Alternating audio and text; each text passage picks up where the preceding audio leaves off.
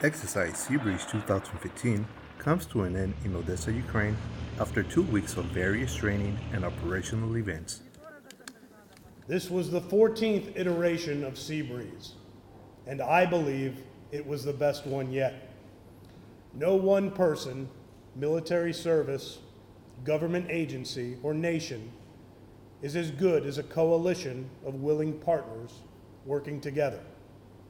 This training we just completed improved our ability to respond to crisis, increased our tactical proficiency, and most importantly, brought us even closer as partners and friends.